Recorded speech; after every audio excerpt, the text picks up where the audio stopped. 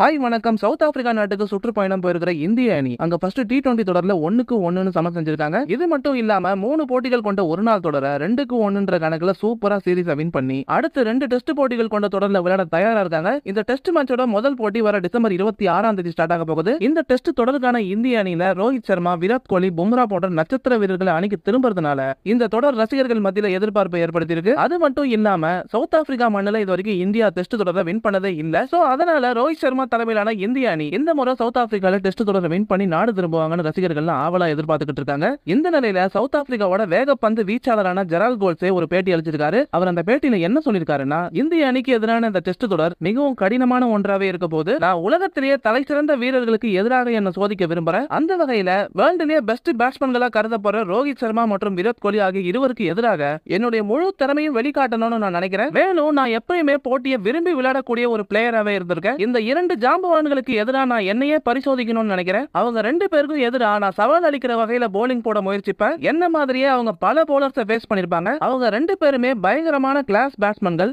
ஆனாலும் அவங்க ரெண்டு பேருக்கு எதிரையும் நான் சிறப்பா போலிங் போடணும்னு நினைக்கிறேன். இது மட்டும் இல்லாம இந்த மாதிரி ஜாம்பவான்களுக்கு எதிராக பந்து வீசும் போதுதான் நமக்கு நல்ல அனுபவம் கிடைக்கும்னு ஜெரால் கோல்ஸே தெரிவிச்சிருந்தாரு. சோ மக்களே ஜெரால் கோல்ஸே சொன்ன மாதிரி அவர் யாருன்னு இந்தியன் டீமுக்கு காட்டுறாரா? இல்ல இந்தியன் பேட்ஸ்மேன்கள் அவரை கதற விட போறாங்களான்னு பொறுத்திருந்து பார்க்கலாம். இந்த வீடியோ உங்களுக்கு பிடிச்சிருந்தா லைக் பண்ணுங்க ஷேர் பண்ணுங்க. மறக்காம நம்ம சேனலுக்கு சப்ஸ்கிரைப் பண்ணி சப்போர்ட் பண்ணுங்கள்